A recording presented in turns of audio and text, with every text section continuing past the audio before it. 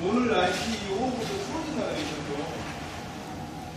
오늘 아침에 만났습니다.